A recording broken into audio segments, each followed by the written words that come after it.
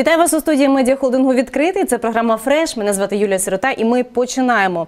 Графічний дизайн, складна техніка, де з'являються поєднані картинки, приємні для ока. І отож про візуалізацію і про сучасні нові методи графічного дизайну будемо говорити з гостем, який вже є у нашій студії. Отож, зустрічайте.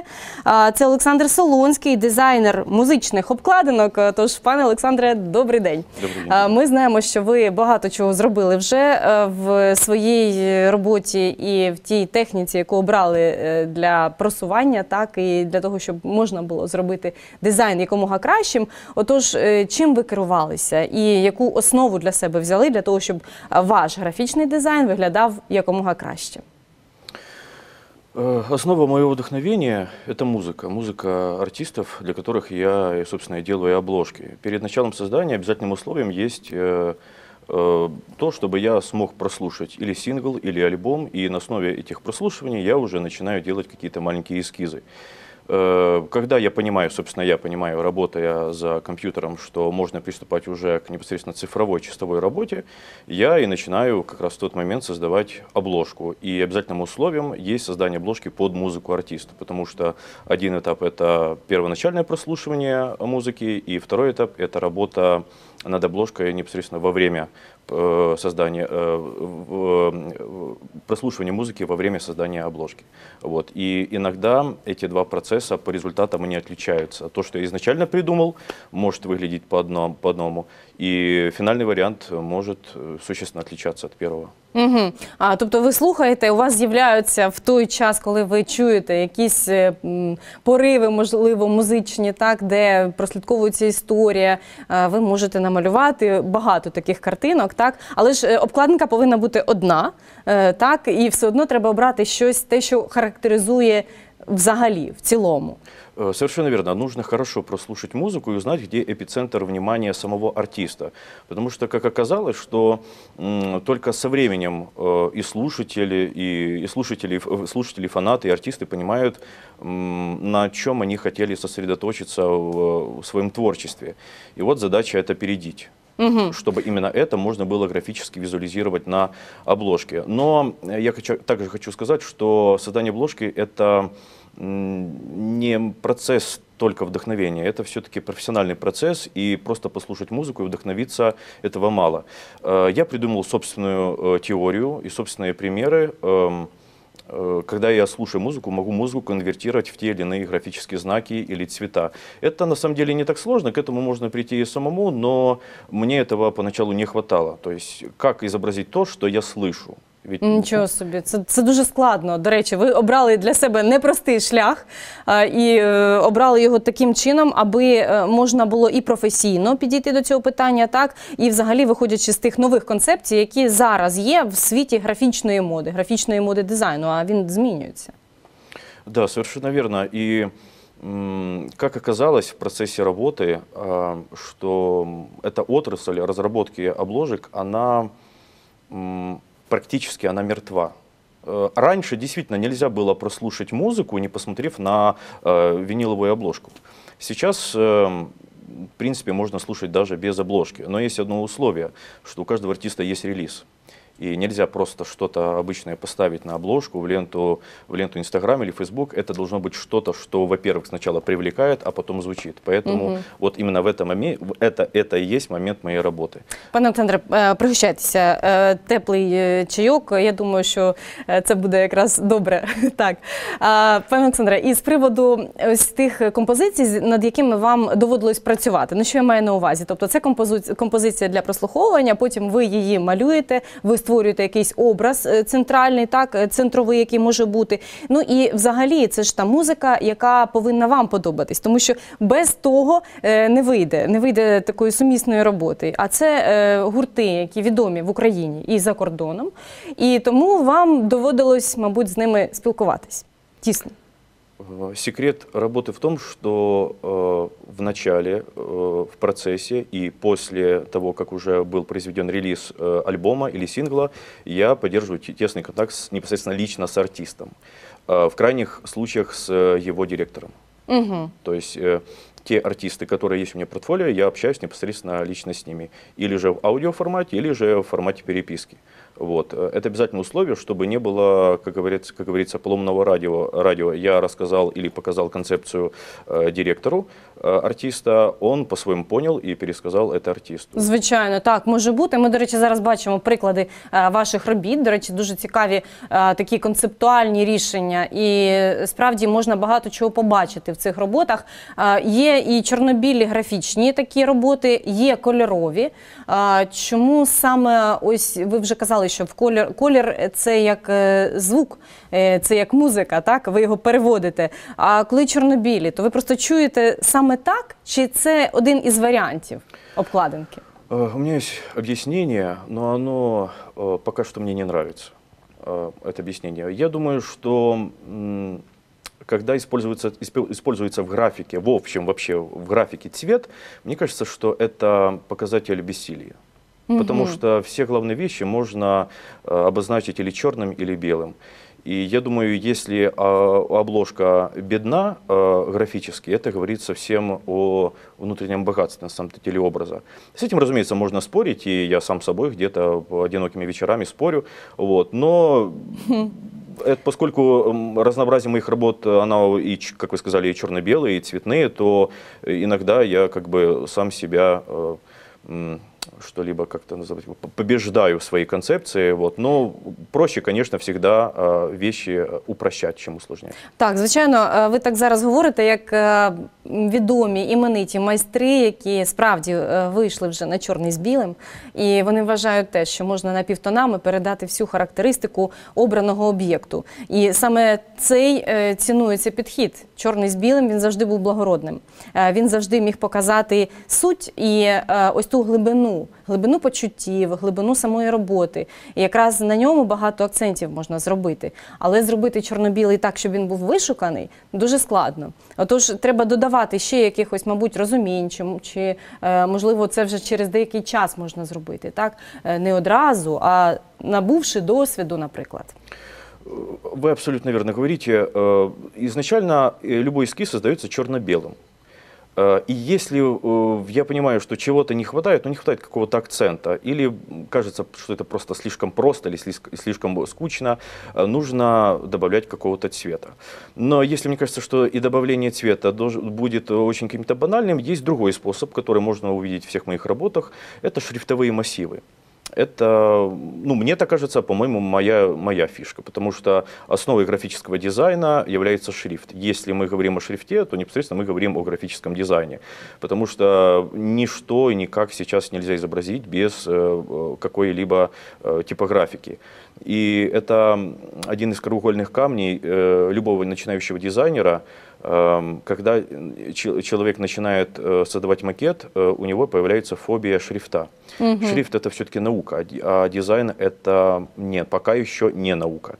И определенные знания, отсутствие определенных знаний в верстке макета, вот, они э, составляют большую проблему для начинающего дизайнера. Тогда, когда я начинал, я сказал что- себе, что мне нужно побороть этот страх, чтобы в любой непонятной ситуации, когда у меня нет ни фотографии, я не понимаю, что делать, я беру шрифт, и с помощью этого шрифта, а, обходясь без иллюстрации, я на основе шрифта создаю м, вот то, что в конечном счете сначала понравится мне, а потом и артисту. Ну, Ви знаєте, а, справді такі цікаві мотиви. Е, Тут ми бачимо взагалі поєднання таке, от знаєте, воно і в формі виражається, і в об'ємі, е, і дуже класне таке поєднання одного з іншим. Е, І хочеться одразу якось, е, знаєте, е, уявити собі е, своє бачення, уявити собі ту музику, яка може там бути. І це взагалі добре, що є обкладинка, і що е, будь-який артист е, може отак от її представити. Але ось тут ми бачимо взагалі такі орнаменти чудові. Це теж вам спало на думку? Чи це, чи це от саме музика вам підказала? Э, э, Смотрите, есть э, непосредственно прямые заказы, вот, и я двигаюсь по определенному, по определенным правилам, по определенному брифу, а есть то, что называется авторская работа. Вечером я включаю подборку своих любимых песен и начинаю просто абсолютно для себя создавать эти обложки. Э, когда обложка создана правильно, э, это означает, что то, что я создал на эту же песню месяц назад, оно не отличается, от, например, от сегодняшнего прослушивания. В, э, в это я убеждаюсь в том, что я правильно мыслю, правильно думаю. Вот, э, вот непосредственно то, что э, перед этим было показано, это как раз и та серия работ. Когда я слушаю музыку и абсолютно для себя, э, представляю себя артистом, вот, э, создаю, собственно, для самого себя обложку. Эм, А есть, які пісні ви там співаєте, коли ви артист? э, Просто дуже цікаво, яка ж музика звучить е, у вашій голові? Основа всему все-таки это Клод Дебюси, это классика, это музыка ни о чем, э, не нужно напрягаться, когда вы ее слушаете, Э, вот, и по сути это как бы первый и последний фундамент, с которого нужно начать прослуш- прослушивание любого артиста. Вообще э, есть, есть небольшой, не- небольшая методика, как правильно подходить вообще к созданию обложку, вот именно в моменте. Сначала нужно прослушать то, что вам нравится, и на контрасте этого уже включить этого артиста. И тогда виднеется как раз вот этот или дисбаланс, или дисгармония, или, или, например, дополняющая вещь, э, которая дополняет, дополняет ваши предыдущие впечатления от э, непосредственно э, работы над обложкой артиста. Вот. И так это помогает. Эм, Поскольку это не наука, поэтому разброс идей может быть очень большим. Но учитывая то, что музыка это все-таки наука, и просто так нельзя по наитию придумать мелодию, гармонизировать, придумать аранжировку, э, подобрать сэмплы, опираясь именно на музыкальную теорию, собственно, конвер- это конвертируется, понимание этого конвертируется в графику, в стили, в шрифты, э, в формы, в экспрессию, в импрессию, в э, еще какие-либо А до речі, дуже гарно. У вас такі тонкі лінії. Там знаєте, деколи дивишся, що справді музика вела. а, Вони десь за- закінчуються і починається щось нове. Ну тобто такі от е, дуже класні підходи. Але ж це все треба зробити в цифровій, е, в цифровому баченні. Тобто, е, чи вам потрібно художнє бачення для того, щоб його перевести потім на цифру? Чи це не обов'язково робити? Чи треба мати художню освіту? Начну немножко раньше. Так, так. Э, У меня нет никакого образования художественного, ни дизайнерского. Я не прочитал ни одной книги, ни одного платного курса, я не прошел все самостоятельно, абсолютно то, что есть открыто в сети, все это мои знания.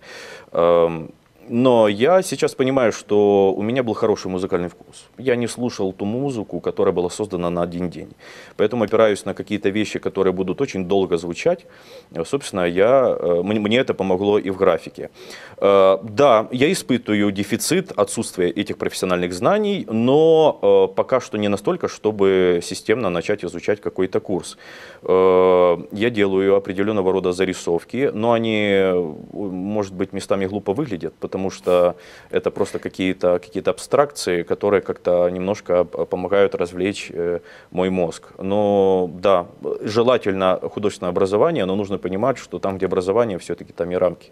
Мы- Звичайно, так. Ось якраз хотіла запитати, е, що м, художники, які вже е, закінчили курс, е, наприклад, е, засвоїли його так, дизайнера е, чи там, можливо, художника-дизайнера, вони бачать е, початок, бачать кінець і їх поправляють. Тобто е, є, е, можливо, якісь напрацьовані е, рухи, яким треба слідувати. А якщо це автор, і якщо він хоче зробити щось своє, то йому треба засвоїти рамки спочатку, а потім за них вийти. І це такий, знаєте, подвійний, двоякий процес, яким переважно такі от відомі майстри і керуються, тому що спочатку ти напрацьовуєш техніку, а потім можеш вже від неї відійти трохи. От як у вашому випадку це було? Чи ви напрацьовували техніку? Ну я так зрозуміла, що ви самі по собі все це робили, але просто відточували, відточували майстерність, і вийшла потім вже якась робота. Ну я думаю, що тут якраз знаєте, зіграло е, те, зіграла роль те, що у вас є смак. І саме той смак він якраз прослідковується в усіх ваших роботах. Ну неймовірні роботи, справді дуже гарні. Е, Ми і побачили, і я знаю, що вас цінують, і ви так е, успішно працюєте в Києві. Е, Чи ви зараз переїхали вже сюди е, до Дніпра? Чи будете тут працювати? Взагалі, як якось з цим питанням? Э, Скажу первое, да, мне тоже нравятся мои работы, как бы это удивительно не звучало. А, эм, Я гость э, места Днепропетровск. Вот. э, Насколько сюда приехал, только будет определено моим, собственно, настоящим положением. Вот. Но пока что мне город нравится. Сам я приехал сюда из Энергодара. Вот там, в том э, районе я родился. Э, По поводу начала и- конца, и вообще как это формируется. Начинал я вовсе не с обложек, начинал я с того, что э, я пришел к выводу, что мне нужно заниматься тем, что мне нравится. А нравится мне, э, с детства нравилось мне выдумывать, придумывать какие-то вещи в голове, э, что-то держать в голове. И это свойственно всем людям, наверное. Но в 28 лет, наверное, когда это со мной произошло, я понял, что я не болен, со мной все нормально, мне просто нужно продолжать это делать. И я выбираю графический дизайн. Первая отрасль, какая, какая попала под горячую руку, это были логотипы и брендбуки. Я тогда думал, что никто, кроме меня, не сможет сделать вот такой логотип. Только я. Я просто избран. Вот я буду самым крутым дизайнером логотипов. Э, через пару месяцев э, э, мотивация эта исчезла, и я понимаю, что создание логотипов – это вещь вовсе не творческая. Вовсе не творческая, и вам дают бриф – где описано, какие шрифты, какие цвета, какая аудитория, первое, второе, третье, какие варианты, и я не вижу себя.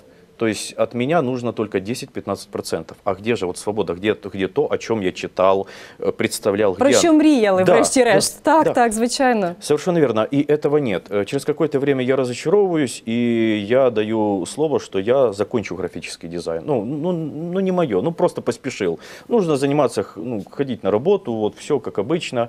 Вот. И тут мне попадается э, один заказчик, нужно создать логотип. На протяжении где-то 30 или, может, 35 дней я делал этот логотип. Я ненавидел все. Я не видел людей, молекулы, вообще микрочастицы. Я не видел все в мире, в мире, э, когда создавал этот логотип, потому что все мои варианты ему не подходили. И тут как раз вот э, разница большая между художником и дизайнером. Дизайнер должен понять клиента, а художник должен понять себя. Поэтому я не мог его никак понять, ни себя, уже никак. Я сказал, это моя последняя работа. Так и произошло. Я создал логотип, причем в тот момент, когда я сказал, что это мой последний вариант, извините, до свидания, вот вам половину оплаты. Он сказал, это же произведение искусства. А бачите, як буває? Отак в житті, отак воно все повертається. І все, і ви після того После этого... зрозуміли, що це таки ваше. Э, Нет, я понял, что с таким путем я не хочу идти, и я забрасываю графический дизайн на пару месяцев.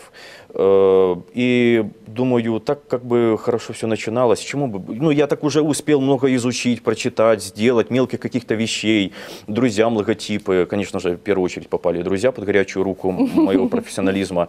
Вот. Э, И я понимаю, что не хочу делать логотипы. Это очень нудно. Это история об одном и том же. Это всегда один же тот же сценарий. Есть проблема, ее нужно решить. Послушайте, предприниматель, дорогие, у вас есть проблемы, вы их решаете. Дизайнер не решает проблемы, он просто делает красиво в крайнем случае. Э, Находясь вечером дома, это был где-то 2017 год, э, это, по-моему, был апрель, э, я просто э, сидел за своей рабочей любимой программой и случайным образом нажал комбинацию клавиш. Потом я узнал, что это за комбинация клавиш. Э, суть не в ней, суть в том, что произошло на экране. Таким случайным, э, при случайном стечении обстоятельств просто у меня появилось то, что, собственно, и стало фирменным стилем, вот то, что вы заметили. то, Нічого что- собі. Да. Оце так. От бачите, як е, все ж, як то кажуть, е, доля. Доля, е, вона, мабуть, е, побачила, що ви не дарма працювали і треба продовжувати. Пане Олександре, ну і наостанок хочеться почути від вас рекомендації для тих людей, які починають, які хочуть завершити і, можливо, теж ненавидять всіх е, і, все, що вони роблять. Е, Нехай вони продовжують. Так, як ви думаєте? Чи треба таки зупинитись? Як побачити себе? Як зрозуміти, що вам треба це, що це ваше покликання? Е, Три речі я скажу е, на останок. Е, Нічого не бійтесь, м, мрійте і слухайте телеканал відкритий. Я вам дуже дякую. Це пан Олександр Солонський був сьогодні в нашій студії. Ось такий чудовий дизайнер. Ми побачили ваші роботи і знаємо точно, що все буде добре. Що е, ось е, та е, справа, та сфера, до якої ви дійшли і де багато працювали, вона неодмінно принесе успіх і свої плоди будуть обов'язково. Дякую дуже вам. І будемо раді бачити вас ще в нашій студії. А ми зустрінемось з вами вже за декілька хвилин.